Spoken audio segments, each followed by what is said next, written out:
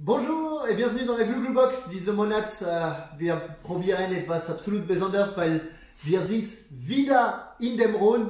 Äh, letztes Mal, wir waren in äh, Irak, so, wir waren auf dem rechten Seite auf dem äh, Rhône. Dieses Mal, wir werden gehen in die Bombe de Venise. Wo sind wir? Wir sind wieder absolut nicht weit. Das muss äh, 50, 60 Kilometer, nicht mehr weiter. Aber wir sind jetzt auf der linken Seite von dem Fluss. Äh, was probieren wir. Wir sind in einem Weingut, der ist ein bisschen besonders, weil wir sind äh, bei Château La Croix des Pins.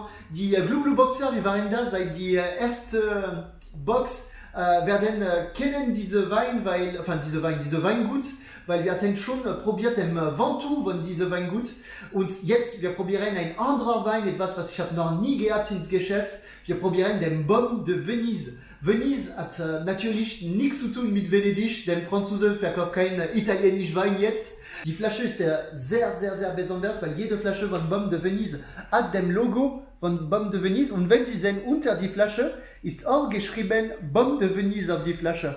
Das ist die traditionelle Flasche aus dem Baume de Venise und diese Weingut, Château La Croix des Pins. Äh, Sie, wie Sie haben vielleicht schon gewusst, äh, ich bin ein total Groupie. Ich bin so Fan von diesem Weingut und noch mehr äh, so Fan äh, von, dem, äh, von dem Winzer, wie heißt äh, Monsieur Valade.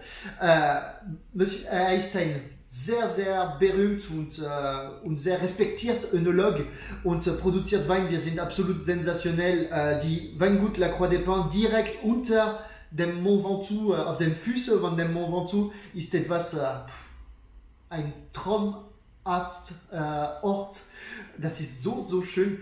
Was haben wir in dieser Flasche? Äh, wir haben äh, drei Reben, wir haben Grenache, wir haben Syrah und wir haben Mauvert.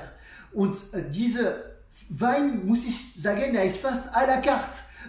Es gibt zwei Möglichkeiten zu es trinken, zwei Möglichkeiten, wir werden den Geschmack total, total, total ändern.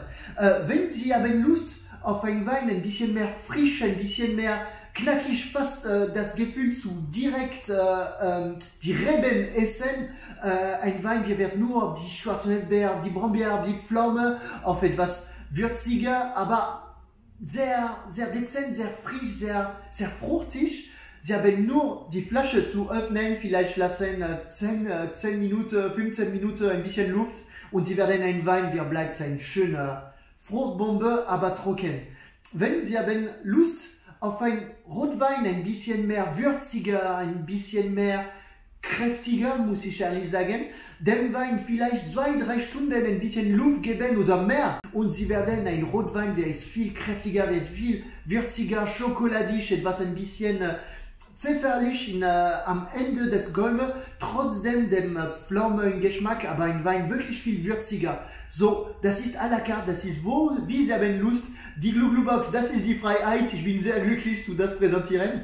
Äh, Immer wie immer, die Château La Croix des Pins ist alles äh, bio und immer die Details, ich finde cool, wenn Sie mögen den Wein, Sie können einfach die Name von dem Wein raus und die Etikett mit dem Namen von dem Wein halten und wenn Sie sind ein echter äh, Jungs, ein echter Mann wie ich, Sie lassen diese Etikett in Ihrer Hose und Sie waschen Ihre Hose mit dem Etikett und Sie verlieren es forever. True story. Viel, viel Spaß mit äh, diesem Wein von Jean-Pierre Valade, viel, viel Spaß mit La Croix des Pins. Äh, willkommen in die Bombe de Venise et à bientôt les amis. Tschüss. Was macht Papa als Beruf? Der kauft Wein.